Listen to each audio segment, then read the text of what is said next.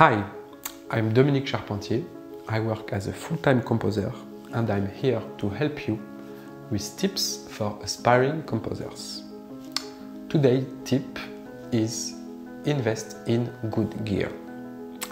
So you'll obviously need some gear to record yourself and to produce your music and you will probably need some specialized gear according to the kind of music you do. So if you take for example uh, Michael Stein, the composer of the original soundtrack of uh, the famous uh, Netflix TV show Stranger Things, he has 79 synthesizers in his studio. That's a lot. You can Google it to see how it looks. If you take me, for example, in my studio I have a nice acoustic piano, a bunch of synthesizers, uh, Prophet 5, Moog Matriarch, I have a good audio interface, a very powerful laptop, MSI, a big screen, uh, good uh, focal monitors, headphones, a bunch of microphones, guitars, other things. So a lot of things, you know. And it's quite expensive. I think it's uh, around um, 30,000 to 40,000 euros. But the good news is you don't need that uh, when you're starting uh, your journey as a composer. I didn't start with all of that. I just started with a shitty laptop and uh, a little software, you know, which wasn't even made uh, to record music. It was a notation software. And uh, I think I composed my first uh, paid gig uh, with uh, like uh, a cracked, illegal version of Ableton, Ableton Live on my shitty laptop, you know. And I didn't have even a, keyboard, a MIDI keyboard to play the notes. I just played the, the notes uh, on, the, on the keyboard of the laptop. So that's to reassure you that uh, don't be afraid you know, to start with uh, what you have, with just uh, small things. Uh, then you eventually uh, you will have better gear. But that's exactly the, the point of the today's video. So what do you need to start making music and good quality music? Because of course you are competing with uh, a lot of other musicians, uh, artists, composers. So you absolutely need to have a professional uh, quality level of, of audio recordings.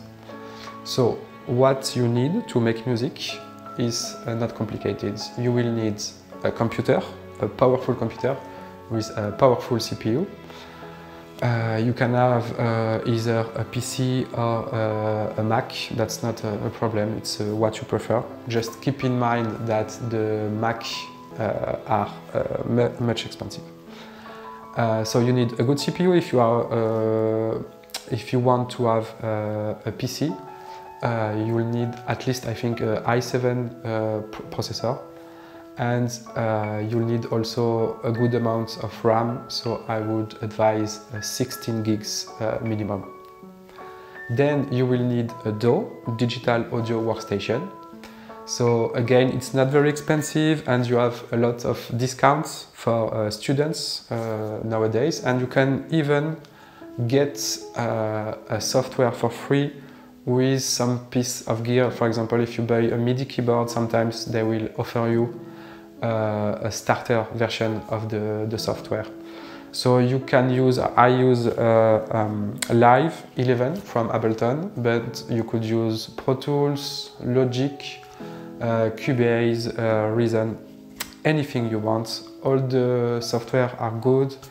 It really depends on what you like and what kinds of music you do. So for example, if you do electronic music, I think uh, Reason uh, is good, also Ableton Live. But uh, maybe you don't do electronic music, I don't know. So just think about what you do and uh, maybe you can search a little bit on, on the web to see what would be best for you. Then you will need a microphone to record uh, acoustic instruments or, or, your voice if you are a singer. Uh, of course, you can also use uh, some uh, fake sounds, you know, like VST sounds. But I would strongly advise you to at least record some of the instruments, real instruments. And if you are a singer, of course, you will need a microphone to record your voice. Uh, so again, it's not very expensive nowadays. You can have uh, very good microphones uh, at an affordable price. I would advise you to look for uh, Rode microphones or Beyerdynamics, for example, because they do very good microphones and it's not very expensive. But you have a lot of other companies doing uh, amazing pieces of gear. Uh, then you will need an audio interface, which will be something that you put um, uh, between your microphone and your computer. Uh, again, it's not expensive. You, you can buy uh, from companies like Audient or uh, Focusrite, but you have a lot, a lot of, of choices. Then you will need a studio monitors uh, or headphones. And uh, I guess if you are looking at this video is, is because you are just starting. So you won't be able to record in a perfect uh, acoustically treated room. So I think it doesn't make sense to buy very expensive monitors. I think it would be best at the beginning if you buy good headphones, like for example from Beyerdynamic, instead of buying uh, very expensive studio monitors. I have both and I use, I use both because my room is not perfect. So, and, and that works for me. And then uh, you will need uh, a MIDI keyboard. I, I, mean, it's not mandatory. You, it's not. Uh, you, you can survive without it, but I think it's uh, very useful when you want to to record uh, MIDI. You know, with uh, using VST instruments. It's quicker to do it on a MIDI keyboard, and again, it's not very expensive. So in total, more or less, you will need 2,000 euros in dollars, in uh, US dollars, it's like almost 3,000 uh, US dollars uh, to start making music and have uh, a professional uh, um, audio quality, you know, the, the, the, same level of your uh, other artists that you can hear on Spotify. So it's not very expensive, so, but maybe you don't have the money right now and that's fine. So just uh, when you have the money, invest in the first uh, piece of gear that you need. So if you already have a computer, which I think, I, I guess you have, because nowadays almost everybody has a, a decent, a decent computer. So maybe you will need to invest in the audio interface first or in the microphone, I don't know. So just think about this and uh, invest wisely, you know, so uh, don't buy uh, useless uh, pieces of gear uh, just because you've you've seen it on uh, on YouTube or because uh, someone famous is is using it. So you you really need to think as a CEO. You know, you're not only an artist, you're also a chief of a company, and you have to make wise choices. So think about the future. So when you when you buy a piece of gear it's not just for two months, you know, it's, it will be for a lot of years. And then you also maybe will have to change this piece of gear. That means that you will have to sell it to then buy a new one.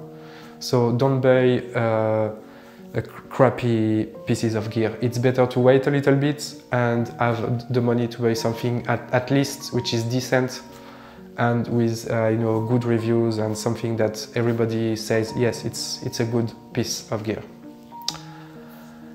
And uh, I think that's it uh, for today. So as you know I want to finish uh, each of my videos with a practical tip. So I, I explained the, the things about the gear.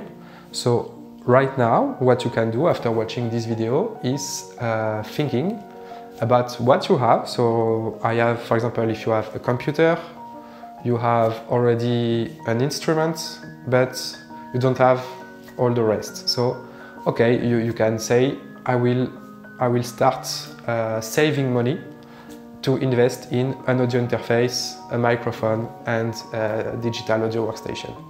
That could be the thing that you do today after watching this video. But for example, if you are a singer, you already have a little bits of things, you know, to record and, and everything. You already have a, a, little setup, you know. Maybe you can say, okay, I have all of these things, but maybe the weakest uh, piece of gear of my setup is my microphone. So maybe I could start saving money and see what microphone I could buy to improve the quality of my music. So that is uh, my advice for today. Uh, as always, thank you for watching. Uh, and uh, don't forget to subscribe if you like uh, what you see and to hit the notification button. And of course, uh, feel free to leave comments in the section below and to ask questions if you have questions about the gear, if you want me to make a list uh, of what I have or what I can advise you to, to use, feel free to, to leave a comment about that. And uh, see you next time.